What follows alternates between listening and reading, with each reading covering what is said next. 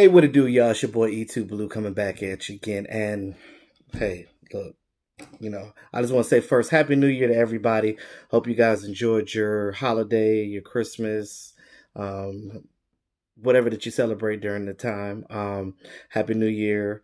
Um, hope you guys enjoyed it, that you didn't get too drunk or got in trouble or whatever the situation was. Um, it is a happy new year, but for Cowboy fans, alike. We just we're not in the playoffs. So, um, me personally, it's a weight lifted off me because I don't have to worry about our team throughout the stretch right now. I can just relax and watch other teams and enjoy other teams and see how well they do things that we didn't do things. Um, first, I want to say uh, 25 years if you're under 25 years old and you watch this channel, I first of all want to apologize to you because you didn't you didn't get a chance to see this team win a Super Bowl. You know, um, I've seen the games when they won the Super Bowl in the 90s and um, well, the three in the 90s that is, because um, I wasn't around for 71 and 77. Because I'm an 80s baby, but you know, but again, I got to see the 90s um, games, and those were the good times. Now, you ask, what happened to this team in the 25 years after that? You know, I talk about Jerry Jones and how he learned how to be an owner of a team from Al Davis, but one thing that he forgot to mention that or or realize is that Al Davis was a coach. Al Davis um, knew different things than he did. So you can't follow other people's philosophies and what they do if you didn't live that person's life or understand what that person knows. You can't follow exactly what they do. You can learn from them and then find your own way of doing things. Now, Jerry Jones is just a stubborn individual. Now, we know he loves to make money. So the only way that you're going to get him to listen if you take money out of his pockets. And you know, with the fan base, how you do that is you stop supporting. And when I mean stop supporting, I don't mean stop being a Cowboy fan. I mean stop going to games, stop buying tickets, stop buying merchandise, things of that nature. You got to get into his pockets. Now, if a, if enough people do that, then he'll see the numbers going down, and he's like, okay, well, I can't do this, that, and the third, and I got to figure things out. Now, I don't fault Jerry for being a passionate guy because I'm a I'm a passionate brother myself. Um, I'm a very loyal person when it comes to like my friendships and relationships that I have with people. And, you know, you value those things. You know what I mean? Especially if people have been good to you. You understand what I'm saying? So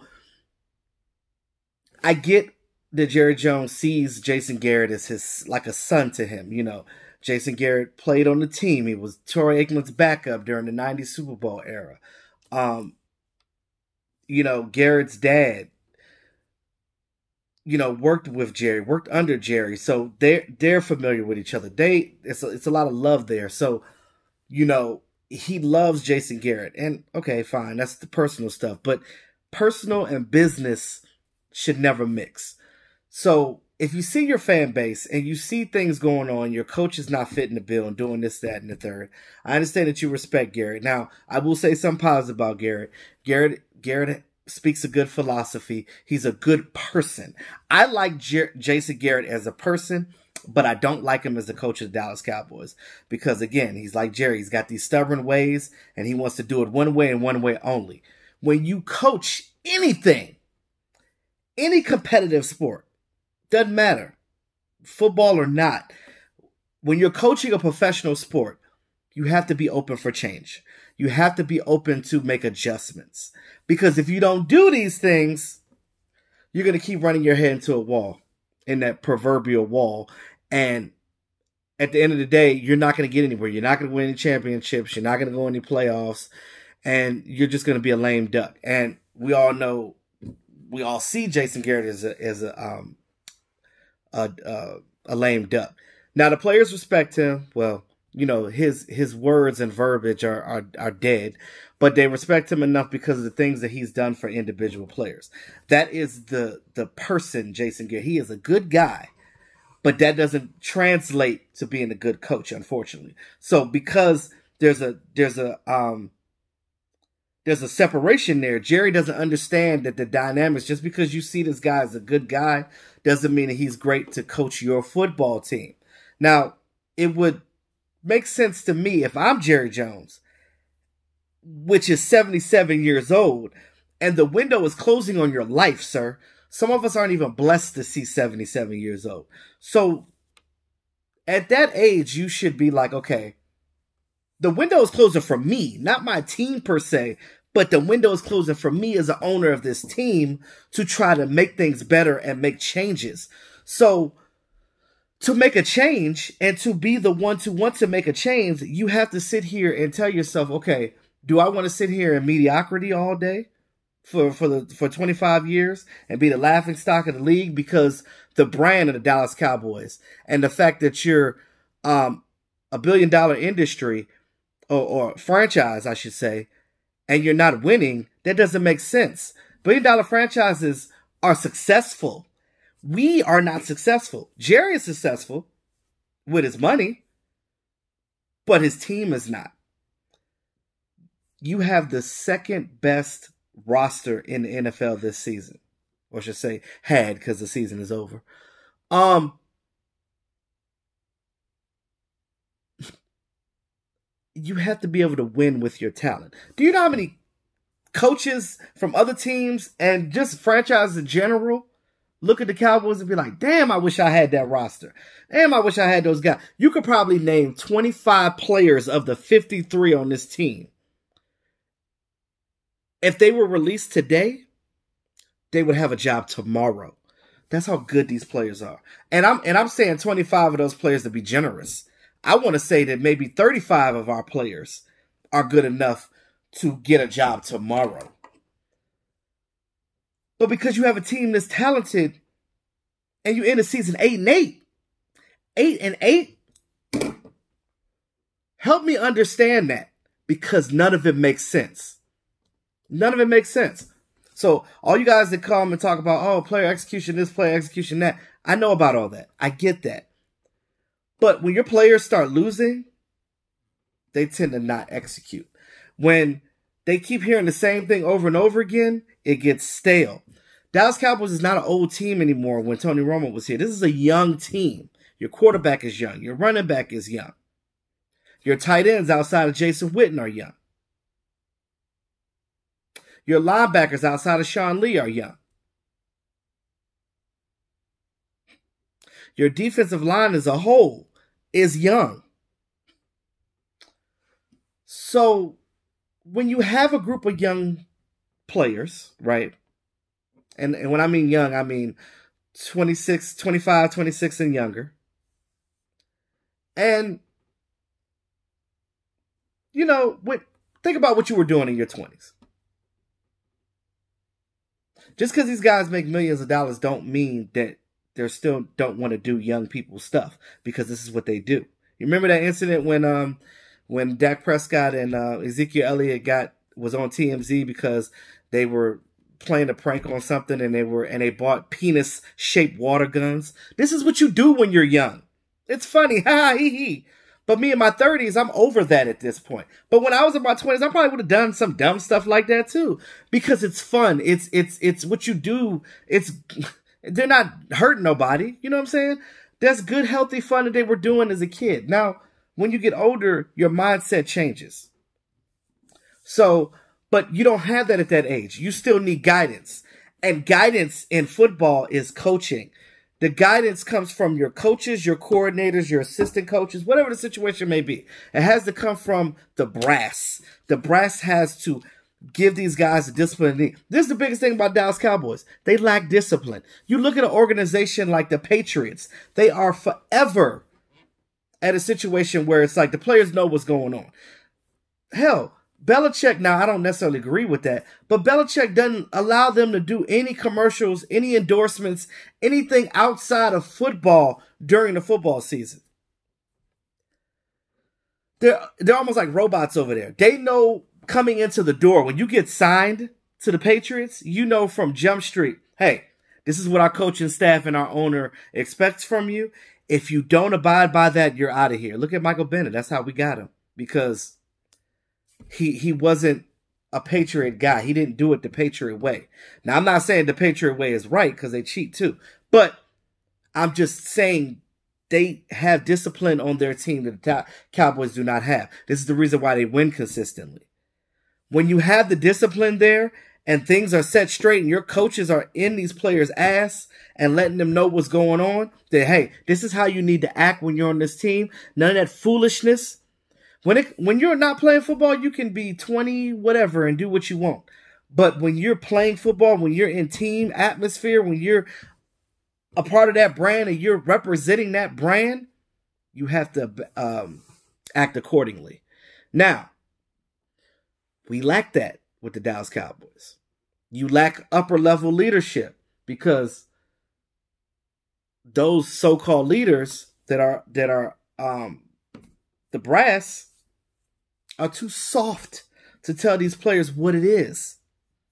Now they try to get all big and buff when they um cut Dez Bryant to try to make an example. Look, all that did was just show favoritism to certain things. Now I'm not gonna get into that part right now. I'll do. I'll save that for my live stream later in the week. Uh, but when you talk about the dynamic of the Dallas Cowboys and what the Cowboys mean, the reason why they're America's team, this group of players right now are not representing the star like it should be. So when a new coach comes into this team, now we talk about Jason Garrett, right? Um, and I just want to clarify something real quick. Stop. I don't want to hear nobody saying, when is he going to get fired? When is he going to get fired? Why is he not fired yet? I, I'm tired of this. So again, we all tired. But for the last three days, he's met with the team. Now I explained to you probably and most likely what went on behind those closed doors. And I'm using com- complete common sense when I say this. Um, Jason Garrett's not going to get fired. Okay? You don't necessarily fire somebody when their contract is up. You know what happens? The day that their contract is up, they just walk out the door, they pack their things and they go. Doesn't mean that you were fired. You just weren't re-signed. So I don't think the Cowboys are going to quote unquote fire Jason Garrett. His contract is up, so he will leave. Now, unless they come back and do some crazy stuff and re-sign him, which I doubt, that'd be stupid. Um, he's done. So next week, uh, what is it, the 15th, 16th, whatever the date is when his contract is up next week, that is when Jason Garrett will be officially gone. So I'm telling you right now, if you watch my channel, you've seen, if you hear what I'm saying right now, stop saying, is he going to get fired? He is not going to get fired. More than likely, it's just going to be a situation where they will let his contract run out and go. This is the reason why I think that because Jason Garrett is respected by Jason by Jerry and them. He's well, he's respect. They respect him. They love him. So they're not going to just fire him. They're going to let him go gracefully. That is the respect that they're giving Jason Garrett. Now, does he deserve that? Hmm. Some people say yes. Some people say no. And I know some people are like, well, he didn't do that to Jimmy Johnson, or he didn't do that to Tom Landry, or he didn't do that to Dave Campo, or he didn't do that to uh, Bill Parcells. Okay, that's because his relationship with them were not the same as what it is with Jer- uh, Jason Garrett. Now, you could say that that's BS, and I hear you. Not denying that. But what I am saying that that is the reason why this situation is happening. To clarify that. So hear me when I tell you this. That is the situation. More than likely, nine times out of ten, he will not be fired. I'm say this one more time. He will not be fired nine times out of ten. When his contract gets done next week, he will just go off into the woods. He will just be like the Avengers movie where they just dissipated and he'll be gone. So, with that being said, what will the Cowboys do when he is finally not on this team anymore? Those of you have been in my chat box, appreciate you guys um, telling me what coach did you want on this team. Everybody has been asking me, E2, E2, uh, what coach do you want? Hmm. It's a good question. I'll tell you what I want. Okay. I want a coach, and I'm not going to say any names because, again, when you say these names, it's almost like you're picking them off of popularity and because of, you know, their merits and things of that nature. I get it. But I just want, I don't care. I just want a coach that's going to come in here, right? That's going to stand up to Jerry and say, look here, brother. I know this is your team, but if you really want me as the coach of this team, I'm gonna give him an ultimatum, and I'm gonna see what Jerry. I'm gonna challenge Jerry. You gotta challenge Jerry because if you challenge Jerry and you come to him with a spreadsheet and you show him numbers, Jerry gonna listen because Jerry's about his money. Think about it, guys. He's about his money. So if it were me applying for this coaching position and interviewing with him, because I'm a smart brother, what I would say is this: I would walk up in there and be like, "Look, all all due respect, Jerry Jones, this is your team." but you have not made it to the tournament in 25 years. You ain't made it to the NFC title game in 23. So, with that being said, you've had your coach here for 10 seasons now. Hold on, let me look at the numbers. Yeah. So, and in those seasons, Jason Garrett, his regular season record is 85 and 67, which not too too bad, but you still can do better than that with the rosters that we've had since Tony Romo till now. And but here's a stickler: Jason Garrett has only been two of two out of three in the playoffs. No NFC Championship games, just mediocrity. Four of those, I guess, nine seasons or whatever. Um, but because he was the tenth season, he was um, interim, so he was halfway through. You know what I mean? So in the time that he was the head coach, four of those seasons, four of those seasons were 500, including this year. He had a 12 and 12 record, 12 and 4 record in 2014, I believe. Yeah, 12 14 record in 2014. That's when we went to the playoffs. And I think that was the Dez Bryant catch year, I think. I could be wrong because I don't all of the, years running together. Because we had a lot of eight and eight years. Let's be honest with you. So the shit just run together for me. Because when I hear Jason Garrett, it just sounds everything sounds the same. So it's kind of hard to keep track of the years when you got a coach that it sounds like everything is the same. Everything is the same. Switch it up. That's that's the problem with the Dallas Cowboys. We don't switch we don't switch things up. So, um, there's that right. So the new coach comes in here. He's like, okay, well, after knowing that and, and telling you what Garrett's record is of mediocrity, and you're gonna come here and 19, and my man 1980 said it. Shout out to 1980 said it beautifully. You come in there and you're gonna tell Jerry Jones what you expect. If he doesn't accept that, then oh well, figure it out. Find a, find another lame duck coach that's going to get you another eight and eight season. Because what I'm afraid of is if we get a new coach and it don't work out. Because I don't trust Jerry to make the right decision to step down and allow his coach to be a coach. Because if you bring a real coach in here, I don't care what these names that y'all pull out, Lincoln Riley, Matt Rhule, um, um, um, uh, Urban Meyer, whatever, uh, whatever, whoever you get in here whoever you want.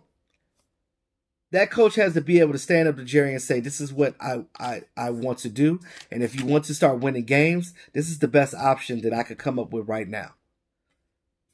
I like Dak Prescott, and this is the, the new coach saying, "I've I've done my research on Dak Prescott. He's a young, coachable quarterback, and I think I could do something with him." Because any coach would come in here and see this roster will salivate because the players are there. All you have to do is implement a good game plan. With this talent on this team and a good play, um, you mix in the ingredients and you put good scheming and good coaching. Oh, that's that's that's the recipe for success right there. I always said that we were one good coach away from being Super Bowl champions. You could have turned this because there's no reason why this roster should be eight and eight. It's just you just need to bring a little bit of discipline to come in here and do the right things as a coach. And now another question is, if this said coach comes in, how is the staff going to change? And we haven't heard anything about staff being re-signed or anything like that. We know the Kris Richard interview with the Giants, but I already know that's a part of the Rooney Rule. You know, he was a token. They don't really want him. They just used him because they knew that they had to interview a black guy. So let's let's I'm I'm keeping it a buck, keeping it 100. That that's what the situation is. They have, you know, the New York Giants have have have they have no thought in their mind that they want um, Kris Richard as their coach. So that part I wasn't worried about. Now, almost like they use him as a scapegoat, but whatever situation. So whatever floats your boat. But as far as this coaching staff goes, we don't know who's going to stay. Are they going to keep the running backs coach Gary Brown? Are they going to keep Sanjay Lal? Are they going to keep uh, Nussmeier, the tight ends coach? Are they going to keep Kellen Moore as the offensive coordinator and Marc Colombo since he just got the job as the offensive line coach? So, what are you going to do? I like Marc Colombo. I like Kellen Moore as well. But I think that Kellen Moore's success was halted by Jason Garrett. So if you get a coach in here that comes in here that knows how to work with Kellen Moore because I think that Kellen Moore is good with Dak Prescott because they're both young. They get it. They can do some of those little slick plays and things like that. Just easy stuff that will work. It ain't got to be all intricate and different. Just do it the right way. Do what makes sense. You know Dak Prescott is good in the read option. You know that he runs a lot of shotgun. These are things that he did when he was in college. I know Mark Holmes said that he does. He's leery about getting a a, a, a collegiate coach, but I disagree with that because I think that a college level coach that is a proven winner, be clear, um, can come in here and would love to have Dak Prescott because we've seen what Dak Prescott did at Mississippi State you got a guy that got legs and an arm. You need to utilize both. You see what the Ravens doing with Lamar Jackson. Now, I don't agree that they run him that much, but you know, while he's young in his season, why not? In his career, why not? But in a couple of years, he ain't gonna be able to do all that. So you're gonna have to be able to throw from the pocket. But Dak Prescott can throw the deep ball deep. We've seen him. He was one goddamn yard away from beating Tony Romo's record in a season. So you have all these things that happen in the season. You had two wide receivers um, that hit a thousand. When was the last time that happened? I think that was like Dez and uh, Miles Austin was the last time we had two thousand yard wide receivers. But they quietly got their yards. Amari Cooper, even injured, still was making plays. So, and I think they need to bring back Randall Cobb, and I'll talk about that in a second. Now, I just I just feel like things that the dynamic of this and things need to change. Okay. So if you bring a new coach in here, and I'll talk more about that later. I'm running out of time right now. I don't want to be too too long in this video, but I appreciate you guys here if you're if you're listening this long. I just had this on my chest and I had to get it out. Now, that's the dynamic when you get a new coach. You're gonna have to bring. I don't care. I need a guy that's gonna come here, whoever he is. I need this this coach to come in here to bring the discipline to this team to to where these players can understand it and listen and believe and buy into it. They already got team chemistry with each other. These players love each other. Um, you got a you got a good little quarterback right here that that can be something in the future. He's not there now, but the things that is wrong with him are very coachable and can fix easily. That's why I think Kitna needs to stay. That's why I think Kellen Moore needs to stay. That's why I think that um, Marc Colombo needs to stay. You get rid of anybody else on that on that offensive side staff, but those guys got to stay. Special teams coordinator Keith O'Quinn, he can go too. Um, oh yeah, and I want and I want uh, the running back coach to stay too because he loves these running backs. And I hear on the mic'd up when he be talking to these guys, he is passionate about his running backs. So um, I would keep Gary Brown. Also, too on the defensive side, let's not forget the defense because they they they haven't been holding up the end of the deal either. These hot boys are lukewarm, and the 49ers then took your name from you and just punked you, and y'all ain't do nothing about it. Come on, y'all. I need y'all to have a little bit of heart. So some of these players got to step up and have a little bit of heart. Also, too, um, there's no reason why how you got all that talent on defense. You got three dynamic uh, edge, uh, just rushers in general with with with Michael Bennett and and um, Robert Quinn and D Law. Those three guys themselves are great. And then you add in the sprinkling the other guys too.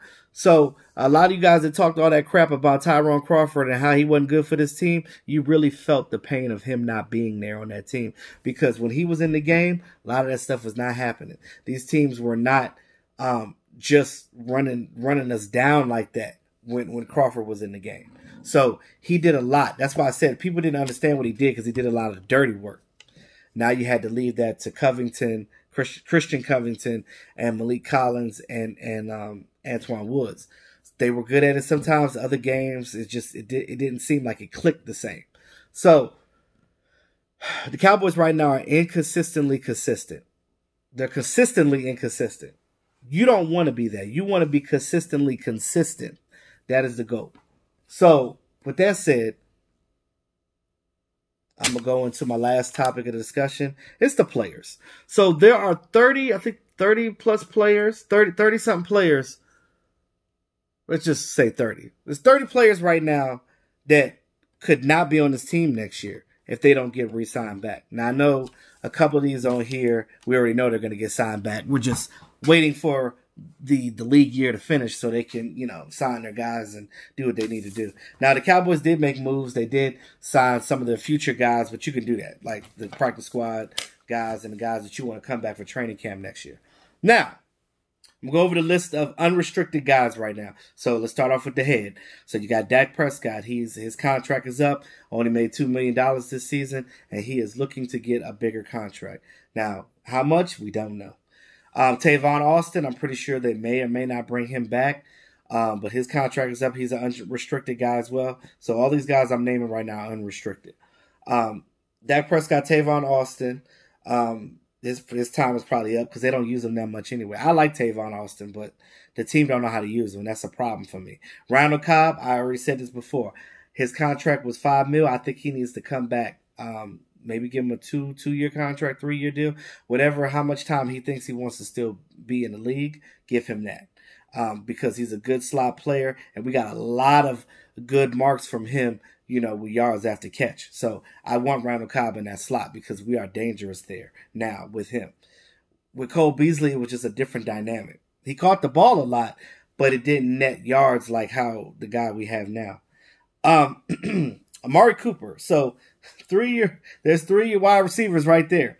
Um, Amari Cooper. We know that, you know, coming from the Raiders, he had a contract to carry it over. He was already making 13.1 mil anyway. So I think that um, at the end of this year, um, they'll just scale back what they're doing and just have a real conversation and be like, okay, this is what I expect to get paid, things of that nature. Because I don't know if um, Amari Cooper is even banging with his with his uh, agent anymore because his agent changed companies. So that's that. Now, you got Jason Witten. Now, Jason Witten said that he more than likely will retire, but we don't know. He can still come back knowing him.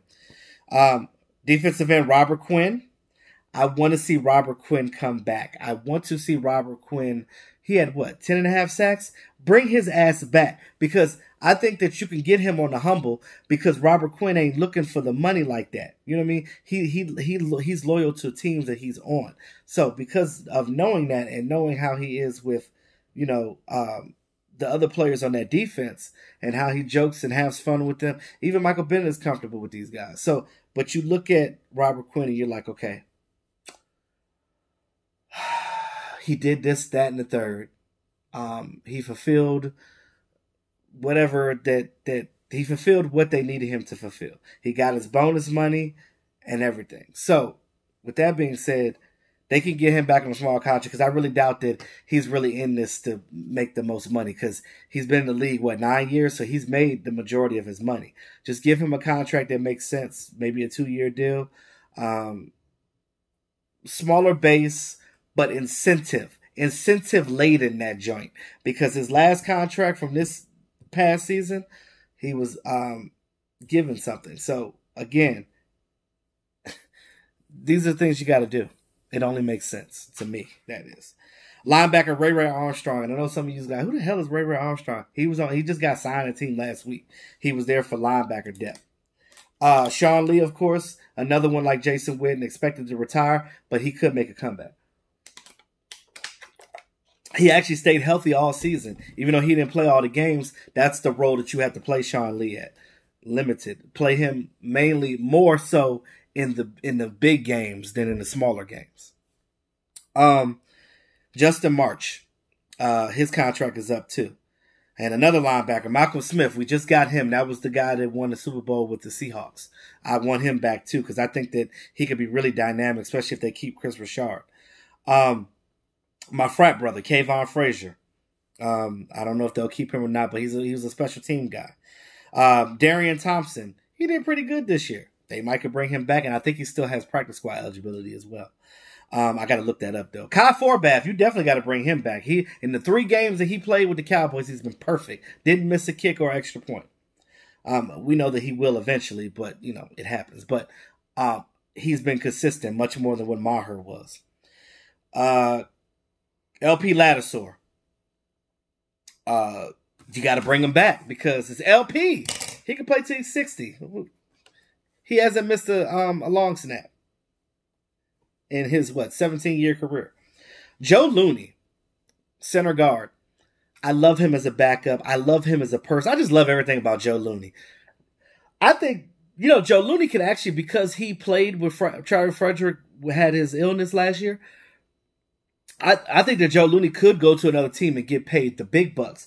But no, knowing Joe Looney and know how much he loves his teammates and how much he loves this brand and the Dallas Cowboys, he'll come back on a, he'll come back on a smaller contract just to be here because he knows he's comfortable here and he knows everything about it. So I think that Joe Looney will get resigned because of the reason that he'll take a smaller contract. Um, Xavier, not X Xavier, because remember it's spelled different. So Xavier, Xavier Su'a-Filo. Um, Xavier Su'a-Filo, they can let him go because he's he plays better. Um, he's better in um, run coverage than he is pass coverage. So um, they can they can replace him, even though I do like him, but they can replace him. Defensive tackle Maliek Collins. He's had a lot of injuries. They might let him go. Um, may, let him test the market, see what happens. Um, Christian Covington, they just got him from the Texans. They might sign him back for a cheap deal because he's one of those secondary type of guys when it comes to like like backups and stuff like that. So they might could get him on a humble. Uh, defensive lineman Kerry Hyder, same thing. They got him from the Lions. They could probably get him on a cheap contract. Uh, linebacker Joe Thomas, hmm, that's up in the air as well. Uh, cornerback and your cornerbacks, you're going to lose a lot of cornerbacks. So you got to figure out what you're going to do. You're going to have to sign back some of these guys. So Anthony Brown's contract is up. CJ Goodwin's contract is up. He's a special team ace. He's a gunner. Um, he could he could be on a really small contract, a veteran minimal. Um, and Jeff Heath, you gotta you gotta bring Jeff Heath back because whether he starts or not, he has done some great things for this team, and he was an undrafted player that just stood the test of time. This guy played this season with two separated damn shoulders and was out there still tackling with his shoulder. So that the dude is a warrior. You can think you can say what you want about Jeff Heath, but but he he got a heart of gold, and I want a guy like that on my team. Period. Um, we have one free agent, which means that they can sign to somebody right now if they wanted to, because the way his contract is. Michael Bennett. Michael Bennett got two options. Well, three. Michael Bennett could retire because he mulled that a little bit. He may just retire. Or Michael Bennett could be like, you know what? I started something with the Dallas Cowboys and I see, I, I like my new teammates. Maybe if, see if the Cowboys can re-sign me or whatever and, and get a small contract, another one year deal, and see what we could do next year. Who knows? I don't know where his head is. Or maybe he could go get signed by another team because he's a guy that's in his 30s and he's just looking to either play or not. Uh, restricted free agents. Um, quarterback, backup quarterback Cooper Rush. Now, if you want to resign him, I don't know. Some people would be like, no, we'll see what's out there. Uh, tight end Blake Jarwin. You got to you got to bring Jake Jake uh, Blake Jarwin back. If if Jason Witten is not here, he is your starting tight end, and then you could draft another one because you still got Dalton Schultz as well. Um, restricted free agent Daniel Ross. Uh, I think Daniel Ross. I think they already signed him back as a futures guy, so I think Daniel Ross is already re-signed. Um, now you have your exclusive rights players, which means that they're exclusive to the team. So the team has first dibs on making a choice. They can't. They're not a free agent, meaning they can't sign with nobody else. Dallas Cowboys have to make a move on them first before another team can take a crack at them.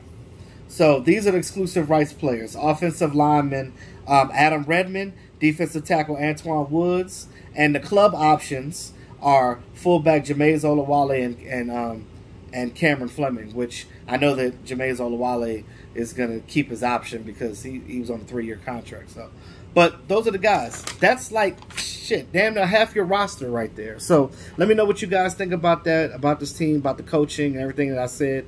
Um, I know the video was long, but I had to, you know, I had to get these in. So with that being said, it's your boy E2Blu. Always keeping it real. Talk to y'all soon. Have a great day.